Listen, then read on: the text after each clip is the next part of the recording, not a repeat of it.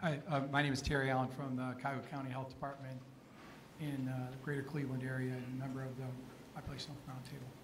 This question, it's uh, following up on Dr. Collett's mention of the P word, politics word. And so uh, interesting uh, stories from both Detroit and West Virginia. I know Dr. Gupta's experience in Charleston with the chemical spill and the swirl of, of politics that occurred around that. Uh, and certainly the, in the wake of the Flint um, situation. I wondered if you could share with us lessons uh, in, in, in the wake of both of those uh, situations, what you've learned, what you've taken forward, and how to interact uh, the pressures that may come from the community and from, from uh, what, whether it's to reopen school or it's to, uh, to provide access to a water supply, what, you, what advice you would provide uh, in, in dealing in the, in the middle of the tempest for, for those that uh, will have to face that change. Absolutely. Uh, so I think one lesson that we've learned um, in, in Michigan, certainly, is, is that it's really uh, one thing I've learned in the work I'm doing is to really listen to people's concerns um, because they have a valid reason to have mistrust of, of government. Uh, one thing I've tried to always focus on is, is the facts and the science and the truth. Um, but also be respectful, very respectful of the community. Uh, there are some folks who, uh, you know, have, have, concerns about Detroit's water supply, uh, or they, they make a lot of, uh, they, they, they draw a lot of similarities between Flint and Detroit when it comes to lead. Uh, and those are two very different circumstances. Uh, when it comes to lead in the city of Detroit, it's really about old housing stock. Uh, and if Flint had stayed with Detroit's water, they probably wouldn't have the, the issue that they had. Uh, so without getting myself in any more trouble, um, I can say just really validating the community, uh, but also in, in my role, uh, it's about really providing the, the data and the science and the resources uh, for the community as well. So, uh, so the water crisis that, thank you, Terry, for bringing it up. Uh, Terry is referring to was the situation in 2014 where a chemical contamination led to denying the wa- drinking water to 300,000 people across nine counties in West Virginia. Two lessons, really. One, um, I think Rahm Emanuel is attributed to this, is never let crisis go to waste um, we enacted some of the most um, uh, progressive uh, water protection laws in the country as a result of that particular event. And second, for my practice colleagues, um, you will probably, um, if, if, it's meaningful work, you'll come very close to losing your job. So do not let that be in the way of um, doing the right thing for, uh, and have a long view and do the right thing for majority of the public that you're trying to serve at the end of the day, regardless of the consequences. Thanks for the panel presentation. My name is Li Yang. Uh, I just think the more you try to change, the more it stays the same. I always heard people say that. Is, I don't know why. We have so much civilization, so much high tech, and how come our well-being is some sort of getting backward? So I think you, as a researcher, and I think you do, and the policymaker, I think we want to know what do you do to see whether really change, and the change is positive and effective and improve people's well-being. Now, so I want to know what mechanism that you have try to see accountability of the data set and accountability of the researchers or your staff. And second is uh, how kind of budget you want to use, and I don't mean just you individual budget or a specific project. I mean you have to think about a big uh, government budget. I don't want you to just say the government can print the money, so as long as you get money, that would be good. I don't think so, because the budget is for everybody, for taxpayer basically. And if you don't use it right, you had better don't tax people's money. So I just wonder if you can examine your situation, your project, whether that's effective, whether that's don't waste people's right. money, and uh, everything will be fine. You will see people happy. Those are great questions, and they really get to accountability and knowing whether what you're doing is working uh, and is worth the value. What I want to say is it's not just the, the, the data you get in. You want to see to, to find whether data is correct. Another social program is not working. People, recipients, they don't really receive it. And the students, they pay the, the lunch, but they don't have the lunch. And so they get the money, they say they want to serve the, the lunch again. So how many times the money that you need to search one time of, of lunch? The same as Medicare, Medicaid, and the social program, employment program. A lot of people don't get the Yep. Th- Thank you. I want to give them a chance to answer. Thank you for your Yes, thank question. you. Go ahead. Thank you. I I think one of the issues that you're, you're getting at is, uh, for me, I think it's the issue of silos.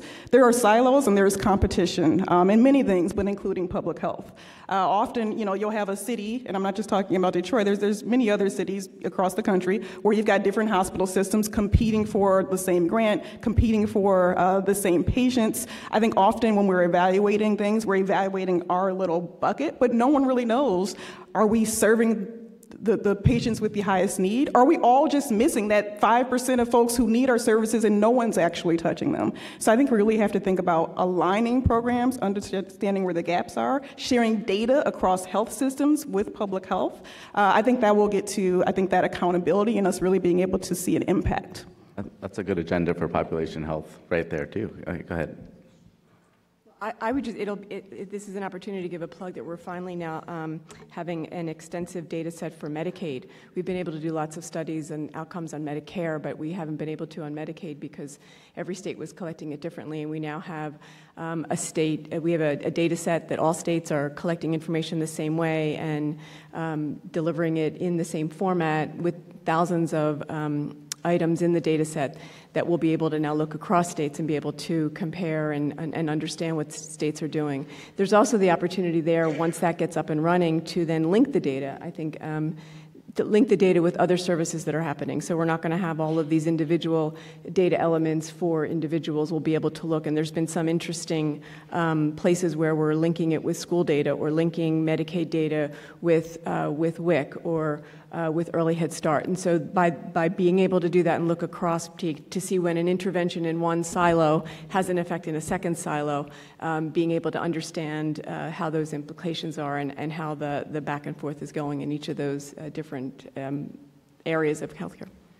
So this is a, a won't repeat. This is a topic for larger discussion, but I, I think um, understanding as we're trying to make all these efforts that there is that medical industrial complex, and and that that big picture needs to be fed. And throughout the Great Recession, that's the area that has continued to do well. It's doing very well in West Virginia as well.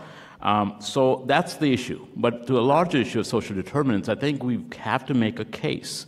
Um, you know, the idea of neonatal abstinence syndrome, I'll go back as an example of opioids.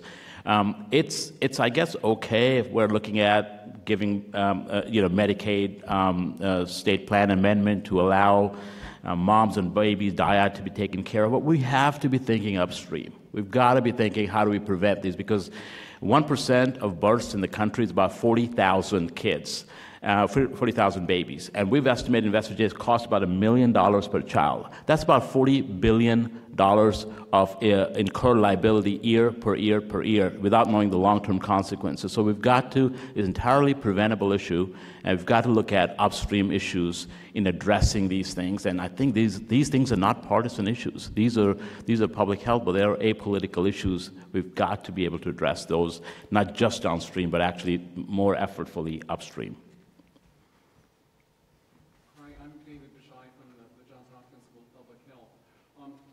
I really love this panel, and I'm thankful to the organizers for, for assembling it. it. It really fits in uh, on a day given to population health, where we see the nature of the problem, but now we're introduced to professionals whose job it is to, to bring the solutions. There's a workforce in America called public health practitioners, and, and, and you're some of the best examples. And I love hearing that, that you're doing a convening practice, whether you're listening and involving community stakeholders, you're practicing public health 3.0. But we know your budgets are small in, in health departments. Public health is maybe 1% of the U.S. health budget. But here at CMS, we're spending so much on the medicalized approaches. You know, we know the future is going to be some version of, of prospective payment and um, changing the health system so that hospitals and providers are paid to keep people healthy. The problem here in Maryland, where we have that payment system, is that the providers um, don't realize that there's a public health profession. They don't realize there are convening strategies. We're not reaching out as a public health profession. They're not coming to us thinking there are solutions. They're going to the public health management consultants for cost control, find the frequent flyers. So this bright future where the money is in America, we're spending the money, but even if we change the payment system to our providers, they're not going to reach out to the best of the public health practice. At maybe in Detroit, maybe in West Virginia, maybe in CMS, you're seeing mechanisms to say to the providers, don't do it your way. There's a profession that knows how to do it. Uh, and not all public health commissioners know how to do it, frankly. The profession is a little bit stuck in the 50s in a lot of places. So, how do we make the profession better, and how do we pay it to do its job? I, I mean, I'll start. Um, to give you an example, uh, there's 19,000 inmates in, in West Virginia today that have substance use disorder. Um, at the door, uh, public options stop. So, across the country, um, incarcerated populations, about 5,000 prisons, only 150 offer some type of treatment for SUD, um, but it's a state liability issue. And, and that's a big issue. So uh, we're, we're talking about these things, but we're also talking about um, where public health can go, but individual practitioners is going to be very difficult to take a medicalized approach.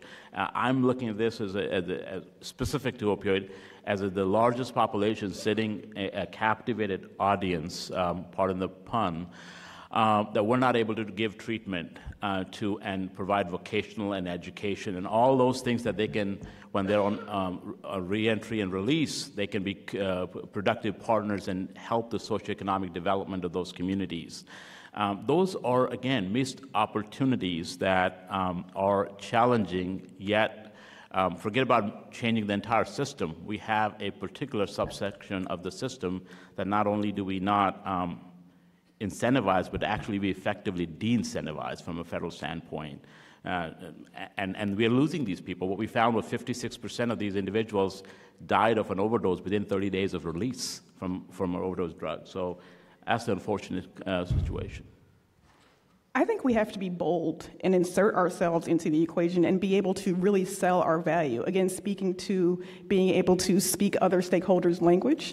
Um, an example I'll give there is a hepatitis A outbreak. It's, it's gone national now, but Michigan, uh, Southeast Michigan in particular, has been uh, dealing with a hepatitis A outbreak, the largest one in the country for the past couple of years.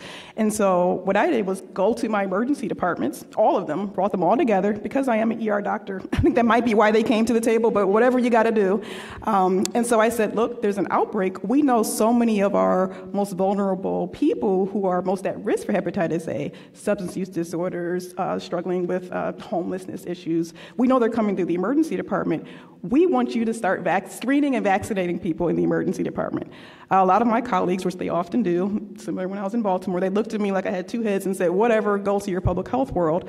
But I said, look, we can provide support. We'll help you get your, your refrigerator. We'll help you get your vaccines. We'll make it as simple as possible. And now we've got all the emergency departments in Detroit uh, actually screening and vaccinating for hepatitis A. So I think we have to, again, just insert ourselves, show our value, and then bring everyone else along as well. I think it's a great question because I think you can pick up two strains of how people think about how public health and population health should assert itself. One strain is to figure out the language, to be able to find common ground, to work together.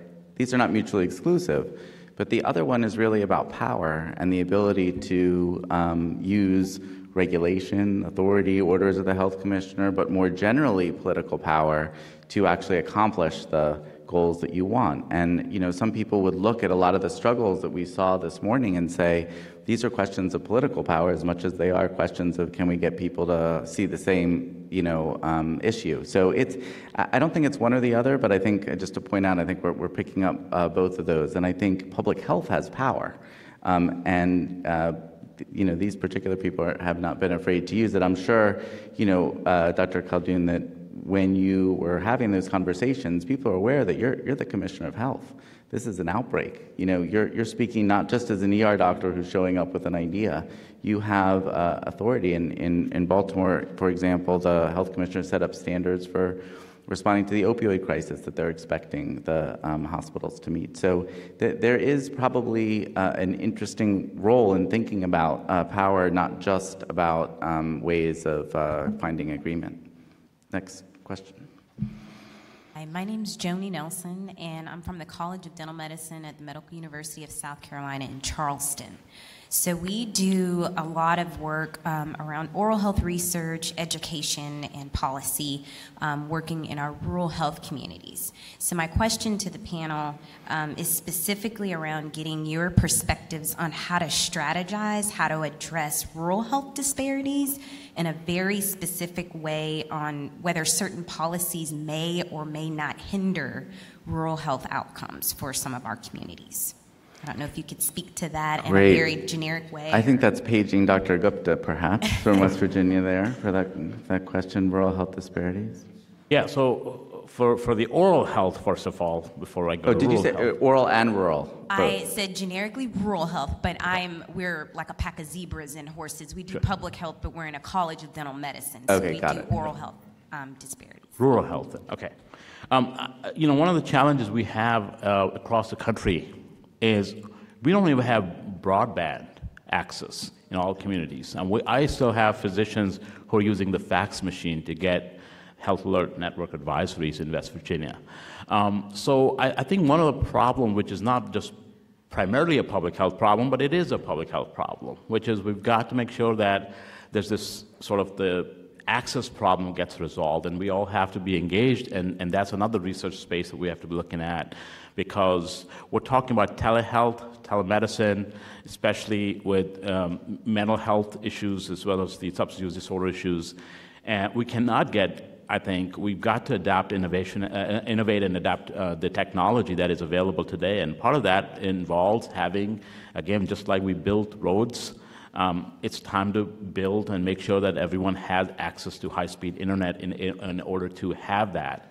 Um, to me, that's the number one most important issue. Now, from a, from a rural health perspective, we've done a lot of um, both the, the version, West version of the hub and spoke model, for example, in substance use disorder, uh, but also expand other programs to make sure that those populations are really not, um, you know, that's another disparity and, and that leads to inequity by itself. And I think that's one, especially in Appalachia, that often gets forgotten, and, and, and we continue to work both from um, understanding those communities. I mean, I want to, there's areas within West Virginia, rural areas, that don't still have clean drinking water. You know, so th- th- there are these are challenges, and I, we could go back as to what the causes, root causes are. But um, whether it's the ability to maintain small water systems and, and have them run, or others, but there are continues to be a challenge, and I think part of it we start with technologically advancing our rural areas and frontier areas um, uh, to bring it to the 21st century. Either of you want to add? I could just add that, and I spoke about this earlier, Detroit is geographically very large and doesn't have a robust transportation system. So, in many ways, uh, how we're approaching public health in Detroit is, I think, more rural in the sense that we are bringing services into the community. Um, and, it's, and it's a change in, in, in the way that I'm having my public health workforce at the health department actually think about the services they provide. We don't want someone to have to get on a bus, three buses in three hours, and take off their whole day from work to come to the health department. So, mobile strategies based in neighborhoods and meeting people where they are, uh, I think absolutely aligns with some of the rural work as well. I would just add that we now have a rural health strategy at CMS trying to figure out how, when we talk about any issue, what's the difference when you need to go into these frontier areas. Um, at CMS, we have a, um, a learning collaborative of rural states talking to each other, so sharing some of the best practices since they're unique to each other. And as a convener, that's one of the things that we can do is help them figure out how to maximize some of what they're doing um, that they may not have thought about. And I guess last, we're also thinking and have worked with um, some of the folks here about what kinds of payment models we can look at that might be unique and different for some of the rural hospitals. Uh, we've got a, um, a model in Pennsylvania looking at some ways of figuring out how to make these rural hospitals that are uh, struggling with volume and expertise and how we can figure out how to help them transition into some of these new more value-based purchasing areas. Yeah, and just, just to point on that, you know, uh, when the payment model shifts. Some rural hospitals say, you know, we go from trying to figure out how to keep the beds filled, you know, convincing sick patients to come in, to trying to figure out how to keep the beds empty through different kinds of prevention-oriented initiatives. So I think payment can play an important role. I think, I think that there's sort of a, a bigger level of engagement with the healthcare system that's coming out of all the comments here. Dr. Magnan. Thank you.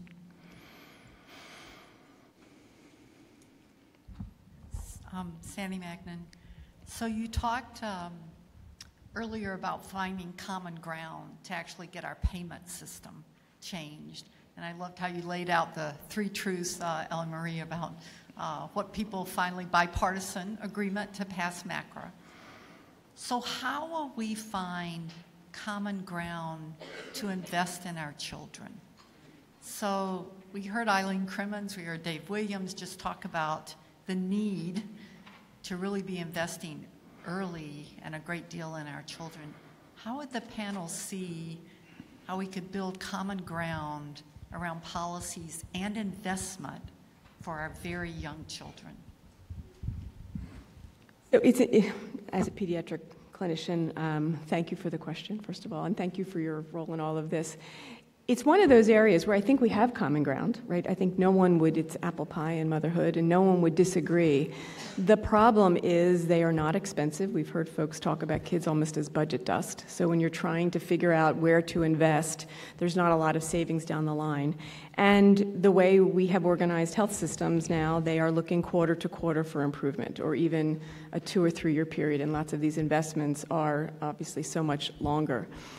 I, I, think part is we have to figure out how to change the discussion of understanding how these implications that we, by focusing on the early childhood uh, areas, what kinds of things in the long term. Uh, we, we have the research, there's been uh, prizes given to researchers who have been able to demonstrate this, but we haven't been able to convince folks in, in these times to invest now for a 10, 20, 30 year uh, change down the line. So I don't think it's finding common ground.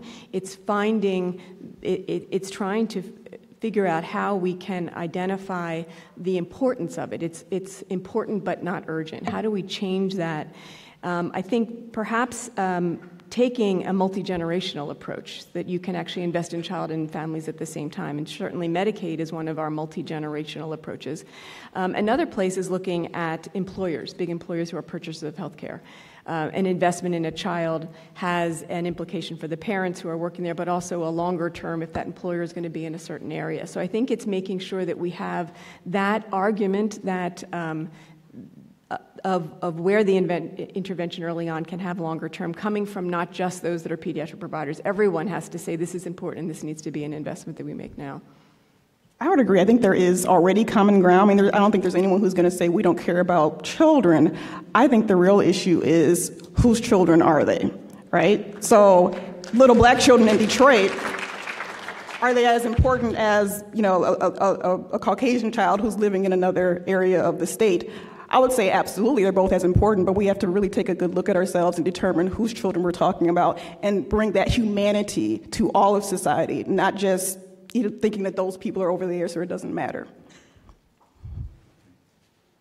So uh, again, I will um, move upstream, upstream, upstream, and I think when we talk about multi-generational issue, one of the things we found in West Virginia, the reason we're seeing um, uh, sort of declines in teen pregnancy is just not access, but it, it is a multi-generational issue. Those women who utilized um, contraception now they're mothers, and they've, they've, they've been able to pass that knowledge uh, onwards to their daughters and their sons.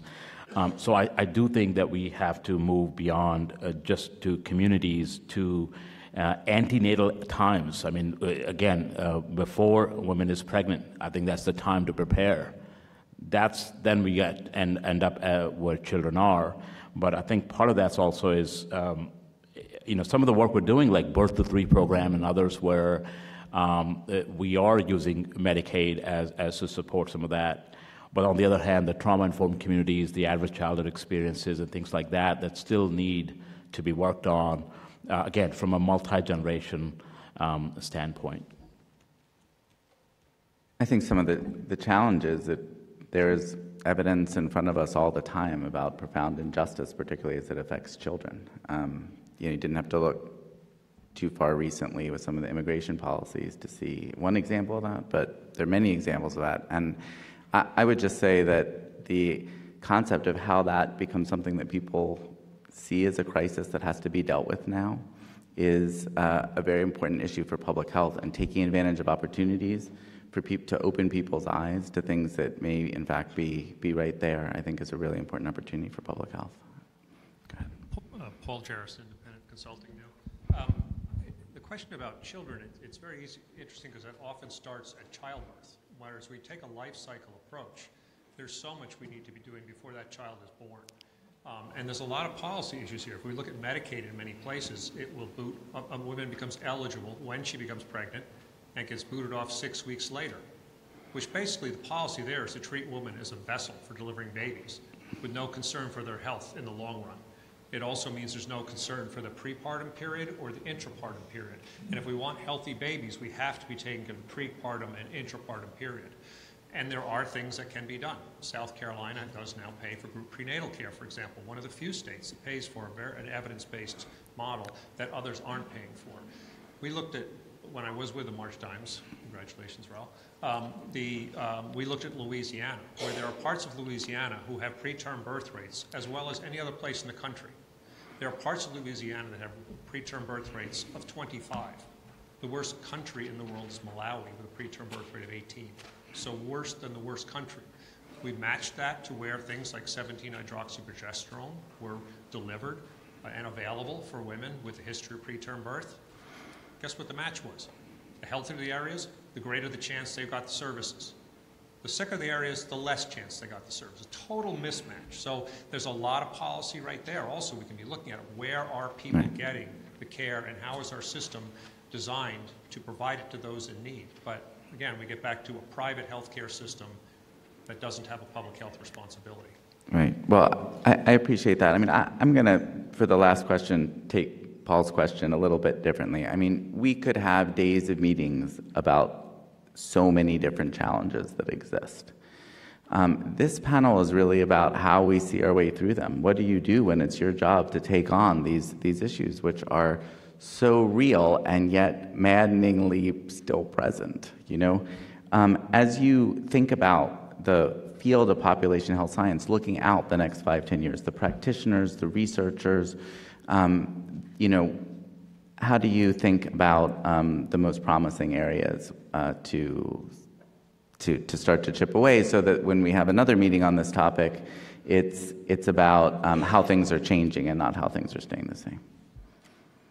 Also, um, I think um, there's got to. Uh, I look at this from a framework standpoint. I mean, there are things that have to be done today because the ge- next generation is at risk. So we're talking about 10% prematurity rate. That's again half a million babies, literally, um, that we have decided the day they're born about their future, how that, that's going to be. Um, same way goes with overdose deaths or NAS um, smoking in pregnancy, those things. So there are things that we are um, sort of, you know, giving people or, or, the future generation a sentence on their life the moment they're born.